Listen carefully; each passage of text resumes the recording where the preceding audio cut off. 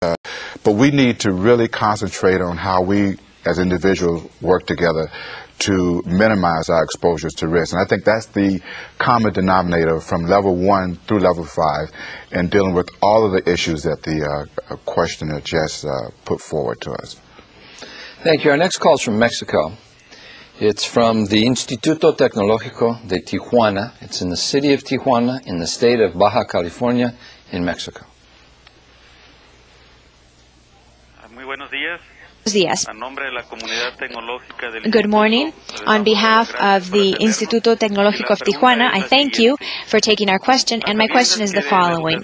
If we take into account that uh, higher education is the foundation of our country, what are the risks and how can we face them with direct collaboration uh, from a, for example, of a, a very important standpoint in the human life? For example, how can we base, how can education be the foundation of um, the country's future? Thank you very much. Bob, how would you like to talk about that? And Dan will give you a chance to take a shot at it. I think that uh, education is key to helping all of us understand the significance of relationships. Uh, exposing individuals to differences, um, exposing people to the learning process is key. I think without education, uh, it would be impossible to deal with or minimize risk. Uh, we have to uh, institutionalize risk management uh, via an educational process. So education is, the primary goal, or the pri should be the primary objective for, for every uh, country in terms of uh, understanding relationships. Dan, you agree? I, I, do agree. In fact, I think that, that institutions of higher education should be the vehicle, if, if not one, the primary vehicle by which people understand risk. People understand the threats to operations and businesses, not notwithstanding the, the threats that they may um, be faced with at the school themselves. But the higher education institution should be that vehicle to create new technologies, to create new ways to attack risk and threats. And uh, I think it's a great forum to do so. We have another call from Mexico. This one is from the Universidad Liceo Cervantino. It is in the city of Irapuato, in the state of Guanajuato, in the country of Mexico. Eh, this is for Mr. Robert Brown. Why do you consider that the risk that comes from the administrating human capital is more important than risk that comes from infrastructure or from the environmental risk. Thank you very much. I think that every, everything originates from how we interact with each other.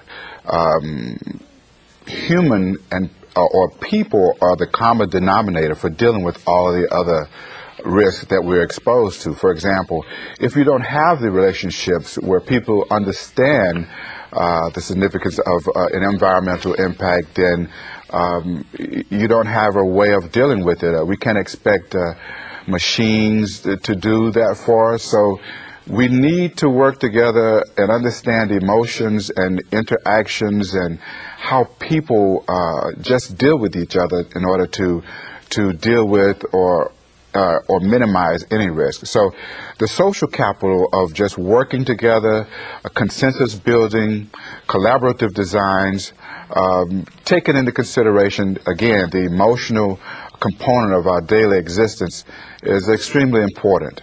And without that, we cannot move forward on dealing with the other risks that, are, that we're exposed to. Our next call is from Ecuador.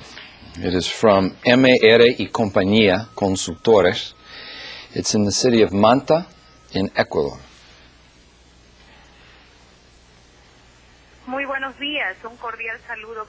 Good morning. I would like to say hi to everybody there.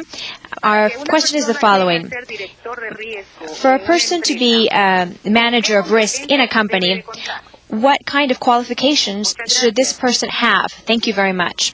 Dan, why don't you start with that one, Dan, uh, yeah, historically, what what I've seen in, in, in the practical context, uh, risk managers are leaders.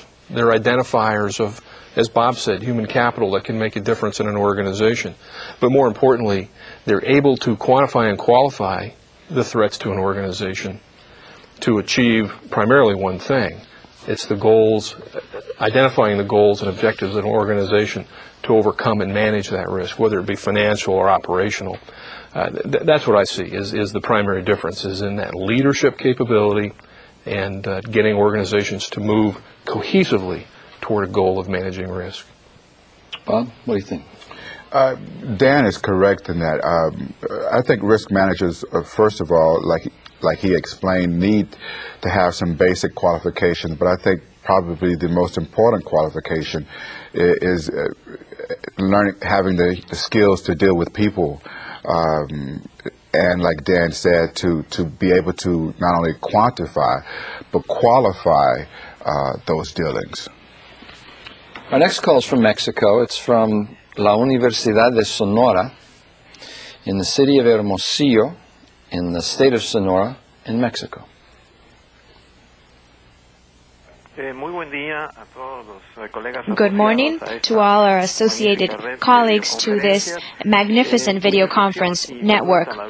My comment and question eh, in regard to this context that is so complex is extremely important in all of the everyday activities as human beings, I would focus my concern in this um, risk management in terms of what uh, Robert Lee Brown uh, commented in, on the human aspect. I believe that the human aspect is extremely important, and this has to be a part of our society. And I believe that more than really um, have professionals, risk professionals or security experts, we should really generate a sort of culture. And this way of doing it, the more traditional way is to do it through education institutions, through schools. And I would suggest that according to the different developments in the, in the five different development levels, or the or these solutions for these problems, what would be the strategy that we could apply, we as educational institutions, in order to develop this culture in our society? Thank you very much. Let me let me indicate where we we have to be quick. Dan, I'm going to throw this one to you. He's already agreed with Bob. I don't know that you disagree and but you still see the role of a security mm. advisor as important. So could you give us a quick synopsis? Oh, I, I, think the role of a security advisor is, is essential, and what I would suggest as sort of an overarching thought is that you look at each and every individual from a contingency perspective, what the impact will be if they're not there, and what an organization or school will do, for example, if that person's not there to back up that capacity and capability. Integrates business continuity thought with risk management thought. Great. Thank you for your questions. Let's now move to the second module of our program, in which Dan Hopwood was interviewed by ITC associate uh, Frank Stanasis.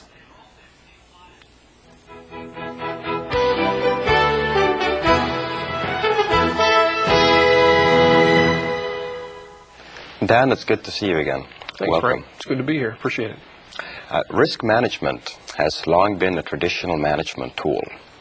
Reflecting on your extensive experience in developing and implementing business continuity plans, can you tell us where the core competencies of business continuity planning merge with those of traditional risk management? I'll give that a shot, Frank. It's a great question, and, and I think there probably are three, maybe four primary areas. The first is in the identification of, of risk, however it's defined inside of an organization. To begin with, does risk exist? How big is the risk? Secondarily, uh, I think they both match up in an organization's desire to mitigate risk. In other words, go out and reduce the ability of, of a risk to manifest or to reduce the size of the risk. Yeah. Lastly, and, and perhaps at least from my perspective, the most important when it comes to the business continuity piece is, is or are the development of contingencies, plans, ways to attack risk as, it, as you identify it in the manifestation stage, as it begins to uh, unfold, a natural hazard, a hurricane, uh, a violence in the workplace, that you have the plans and the contingencies to address that risk and reduce it to its lowest possible levels. Yes. Does what role does business continuity planning play in an organization's overall strategic initiatives? Yeah, I wish more organizations would think about business continuity as they strategize and plan. You know, if you think about the word strategy, the development of of approaches and, and ways to um, create business emergence and create new markets. It, business continuity really is a tactic. It's the tactical application of the strategy. So what you're looking at is the implementation phase of, of, of attacking risk, creating plans that when your organization uh, has struggles with personnel issues, uh, human, human capital, um, technical issues, mm-hmm. that you've got the resiliency. So it's in that strategic planning that you're looking down one or two or three additional levels to protect and create a cushion for your organization. Mm-hmm. Does each type of risk that we learned about in Module 1 require a separate business continuity plan? I think, I, I think I'd like to answer that one yes and no. Uh, the, the, the, the no is predominant in that you have to have an overarching business continuity plan. In other words, a, a clear direction in which you're going to take your organization when something develops. Yes. And by something, I mean a risk, mm-hmm. a, a, problem. The, the, the yes part really comes into play based on the individual nature of the risk that's manifested. In other words, in the emergency response aspect of business continuity, and, and the, the listeners may remember that from two or three presentations ago on business continuity, we talked about that element. And some emergencies require specialized plans. Hazardous material, violence in the workplace, they have to have some specifics uh, as to how you respond and react. So to that level, yes, it has to be unique Generally, though, you want an overarching plan that drives the organization in one direction when, when something is occurring. Yes, okay.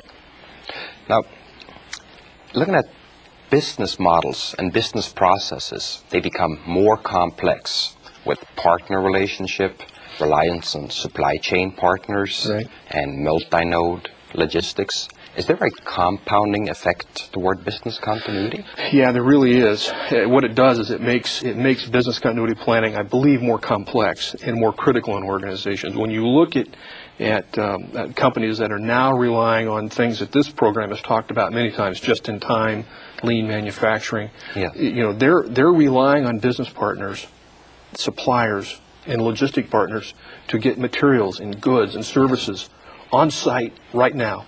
And if those aspects of the operation are impacted, your business continuity plans must be so rigorous that you can overcome that dynamic yeah. if, if it's harmed in the process. So that part of business continuity planning is becoming much, much more critical.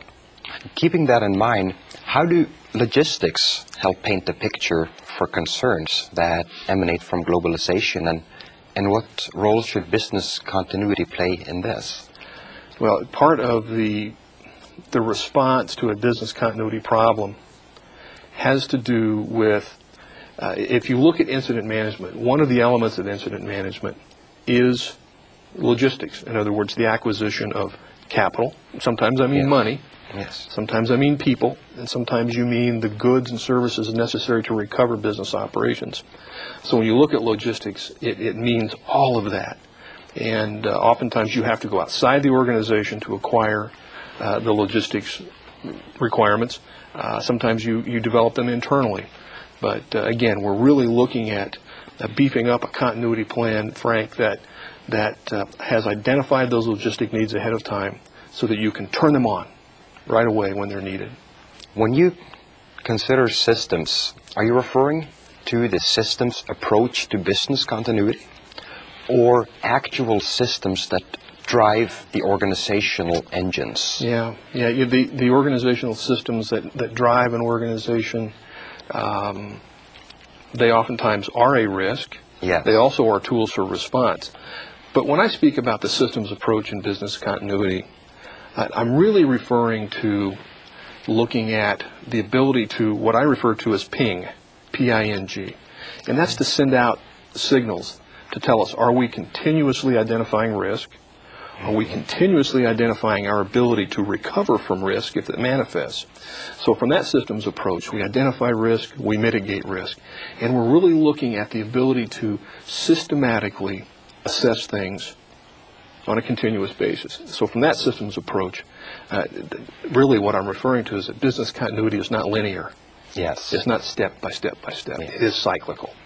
What makes a systems approach towards business continuity more effective for an organization than, say, other approaches? I think the systems approach, Frank, is, is critical because it doesn't allow the planning process to, to go fallow or to go, to go stale. Uh, Yeah. If, if you do the linear approach in planning, which a lot of planners do, business continuity planners, once they've identified risk and written plans, it, that plan will sit around and become stale. Whereas in that systems approach with that pinging I talk about, Yes. much like sonar, much like Yeah. things they do in the defense industries. You're continuously looking for information. And that doesn't allow your plan to go stale because sometimes you need to modify it frequently, not just annually, not just every two or three years, perhaps uh, weekly, daily. Think about terrorism. Exactly. You know, we, we have to modify and, and seek information all the time. And that's really what I'm talking about there. Yeah, in in the past, you have mentioned um, RTOs and Right. RPOs. Uh, could you refresh our memory on those terms and and what they mean for um, continuity planning? Sure. Organizations uh, must be capable of establishing, in, in the context of business continuity, RTOs, which are recovery time objectives. And they have to be realistic. Yes. Uh, what, we, what we find a lot in planning with, with organizations uh, are that they, they think that they need to recover their core businesses within 12 hours or 24 hours or 36 hours, but Yeah. they don't have the horses to pull it off. So what we try to do is to get organizations to become realistic in recovery time objectives. The RPO, on the other hand, really is referring to that point at which you must begin the recovery process. Okay. That, that outward bound time that says, I have to start now. Whereas the RTO really refers to that time that you have to have your operations back up and running to meet customer demand, perhaps regulatory uh, compliance uh, issues, and, and those types of factors. Okay. Thanks. Now, then, why would organizations worry about continuity planning in the first place?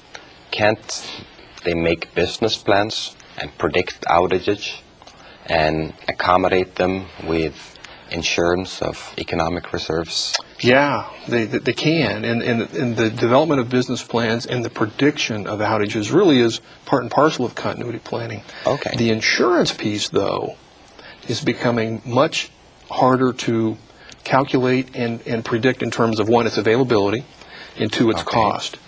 So part of what we're trying to accomplish is, is to have organizations have recovery and contingency plans to maintain operations to certain levels, to get back into business so that the, the, the need to go out and utilize that insurance program is diminished, Okay. thus controlling costs and mm-hmm. other factors.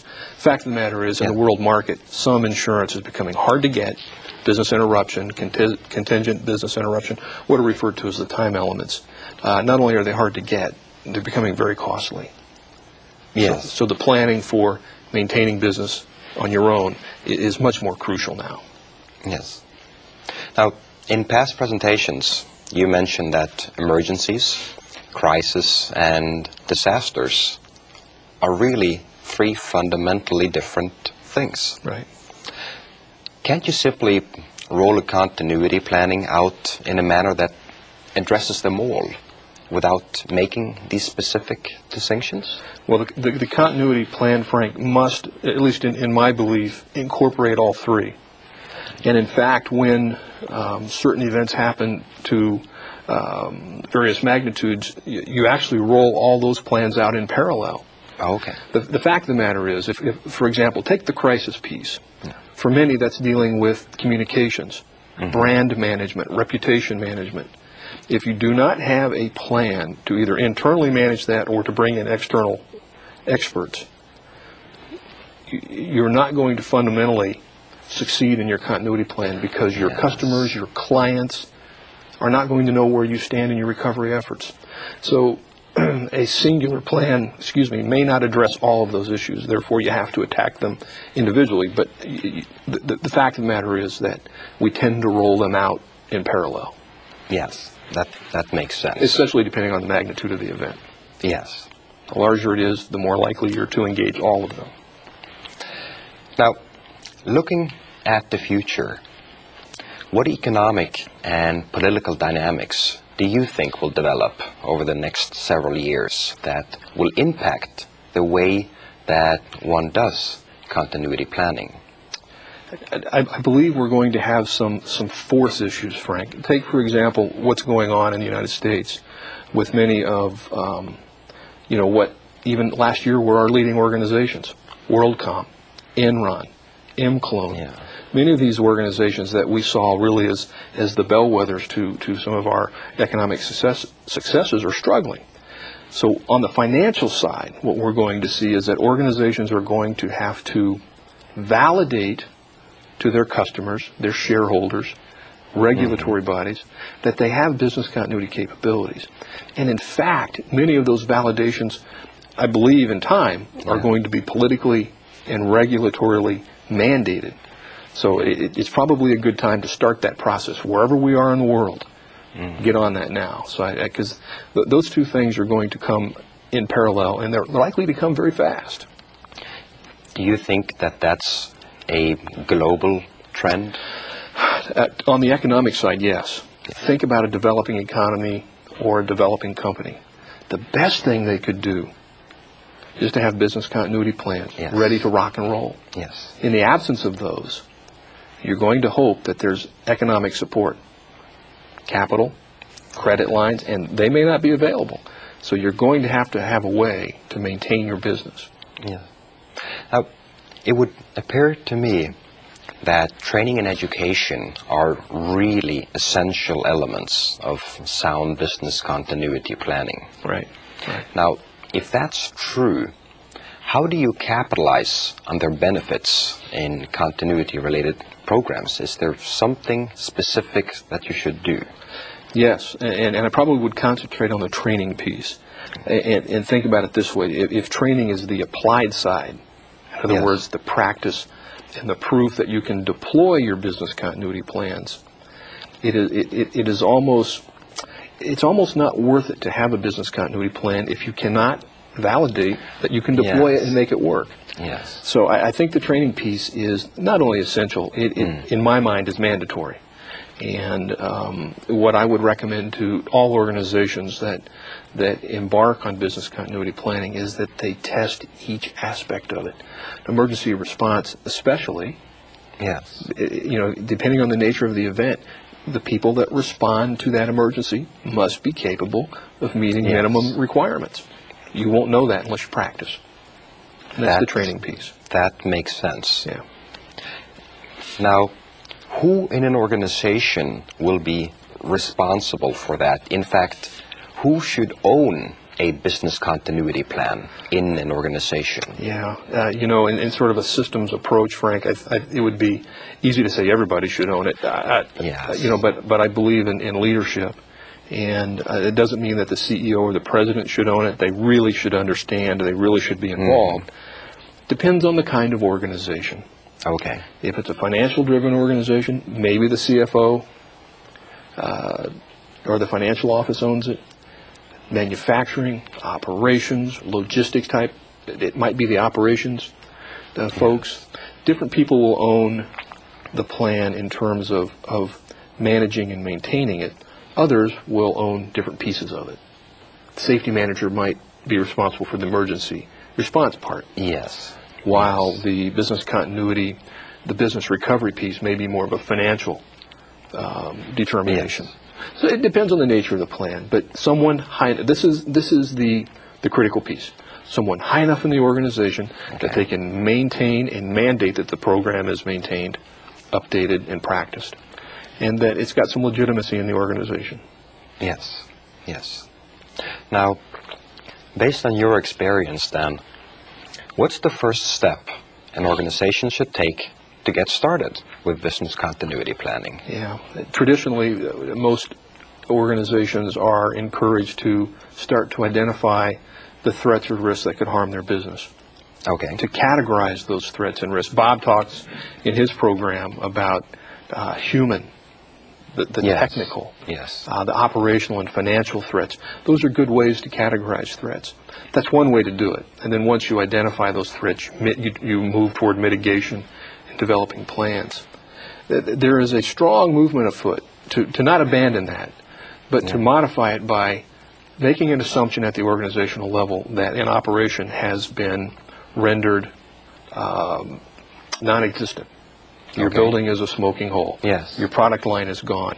And that you plan based on that worst case scenario. And we're doing a, an awful lot of planning with organizations based on that versus the identification of threats. Yes. Fundamentally, you get to the same place. It's just a different way of attacking it to begin with. Now, would an organization normally start something like this on their own initiative, or um, um, what do they typically do, and Yeah. what's most effective? There, there is, uh, well, the, the fact that an organization starts is, is the most effective piece. Now, what drives Okay. that, that starting mechanism is changing. Many times the, the drive was because business owners and managers felt the need to safeguard their employees, their shareholders, their customers. Others uh, feel the need to do it because someone tells them they have to do it. Yes. And, and today we know with some of the examples I used before um, with WorldCom and ImClone and others that the, the regulatory and, and the securities world is saying prove to your shareholders that you can safeguard their investment. Yes. So the, the driving nature really is broken up into three or four components. Good moral um, determination that it's an important thing to do. Sometimes it's financially driven. Yeah. Other times uh, the regu- regulatory bodies drive it. Now, if it's driven by operation and efficiencies, is there a way that we can manage how it impacts your competitiveness? Uh, I, I believe so, Frank. Uh, in other words, if we're looking at business, and in fact, that's one way to validate business continuity planning. Yes. i- i- yes. Is to say that in the absence of planning capability, we're going to begin to lose market share. yeah. It's an odd twist that an organization would say, in an event, not only am I going to maintain market share, I want to grow. It can happen. There have been case studies that suggest that organizations that respond quickly and effectively create a wonderful um, sort of public relations dynamic, if you will. And the people that buy their products and services say, I like these guys, and I'm going to keep buying it, as opposed to, nah, they're not in business anymore, so I'll go to a competitor. Yes. Yeah. Now, you talked about um, mandates and regulations and laws. Right. They might be able to make us, as a business community, do certain things, but does that mean that we actually do business continuity planning the right way? Do you see a, a conflict there? There can be a disconnect, and, and I think the disconnect is in the applied side of continuity planning. There are millions of fine looking business continuity plans sitting on people's shelves Okay. that are not used, not practiced, not validated. So that distinction is going to be in the applied side of being able to deploy that plan, make it work, and to do it within those time frames, whether they're the RPOs or the RTOs that an organization has established. Okay. Thank you, Dan. You're welcome, Frank. Appreciate the time. We will now continue with the second question and answer session. Our first call is from Mexico. It is from the Instituto Politécnico Latinoamericano in the state of Pachuca. I'm in the city of Pachuca in the state of Hidalgo in Mexico. This is the Instituto Tecnológico Latinoamericano. My question is for an education institution. Would it be convenient to have a manual of risk if we, of course, have in our community um, teachers and faculty um, that would really like to um, know your opinion on this regard? Dan, what do you think? As an organization, should the university have it? Yes, uh, I think the manual of risk, if you will, or the development of a a risk or a threat matrix, which includes not only the existence of a risk or threat, but how big it might be, is critical to several things. One is managing that risk, and two is creating response programs uh, surrounding that risk. So absolutely, whether it's done on a department basis or an institution-wide basis, that's a really good approach. It's a great prototypical start to business continuity planning, by the way, as well. Great. We now have a call from Colombia. It is from the Federación Nacional de Comerciantes, known as FENALCO, in the city of Medellín, in Colombia. Muchas gracias. Buenos días. Buenos días. Our question is the following. What type of contingencies can you set forth when the plan for administrating risks is now focused um, wrongly on the less important risks? What can we do in this regard?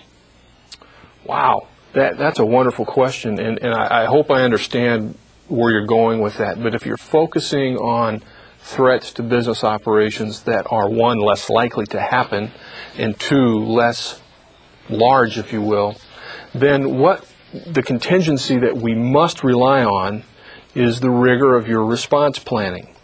So that regardless of the threat that manifests, you have a plan in place that logically works you through a response methodology so that at least you're hitting the basics and at least you're maximizing the, the, the effort for responding to that, that risk. And that's the contingency, I think, is having a plan that works regardless of the magnitude of the event in terms of its logical steps. We have another call from Mexico. It is from La Universidad de Occidente. It's in the city of Los Mochis. It's in the state of Sinaloa in Mexico. Sí, muchas gracias. Buenos días. Our question is focused on uh, Robert Brown's presentation, and it has to do with if risk is reduced by um, diversification, what, how can we then focus diversification in the human factor? Thank you very much. Well,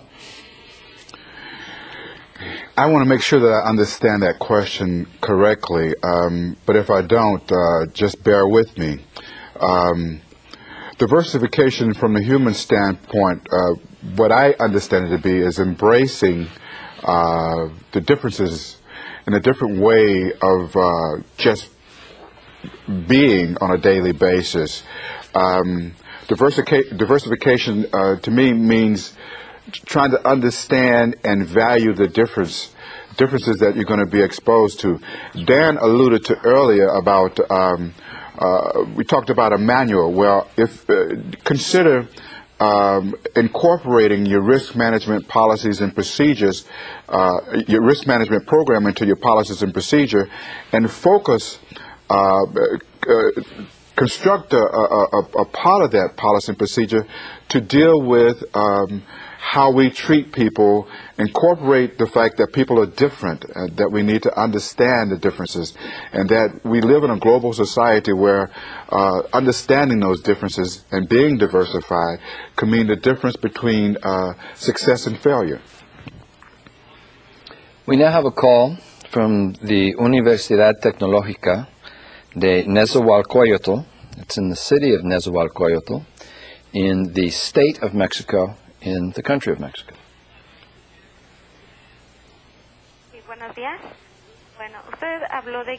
You talked about that it is recommendable to have an internal audit or special um, people that will audit this. In Mexico, this is costly. My question is, what do you um,